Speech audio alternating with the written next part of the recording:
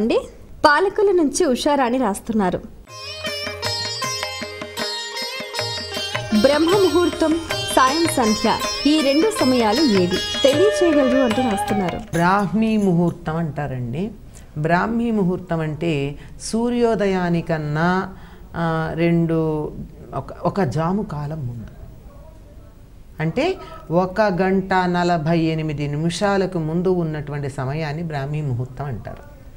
ముహూర్తం అంటే కూడా పద్నాలుగు నిమిషాలు గనక కరెక్ట్గా దానికి అటు ఇటుగా ఉండే పద్నాలుగు నిమిషాలు. సూర్యోదయం ఆరు గంటలకు గనక అయినట్టయితే నాలుగున్నర. ఇంకా నాలుగున్నర కూడా కాదు గట్టిగా చెప్పాలంటే.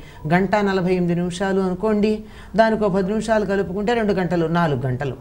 లేదు ఆరున్నరకి సూర్యోదయం అయినట్టయితే నాలుగున్నర. ఆ సమయానికి బ్రాహ్మీ ముహూర్తం అంటారు. అలాగే ప్రదోషం అన్నారు కదా ప్రదోషం అంటే సాయం సంధ్యా సమయం.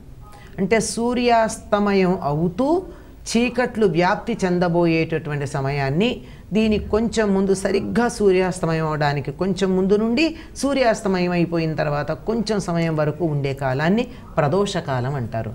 దోషము అంటే రాత్రి. ప్రదోషము అంటే రాత్రికి ముందు ఉండేది అనగా సాయం సంధ్య అని. ఈ రెండు సమయాలు కూడా ధ్యానం చేయడానికి పూజ చేసుకోవడానికి జపం చేసుకోవడానికి ఆధ్యాత్మిక కార్యక్రమాలు నిర్వర్తించుకోవడానికి చాలా అనుకూలమైనవి. అంటే ఈ సమయంలో చేసినటువంటి వాటికి ఫలితం చాలా అత్యధికంగా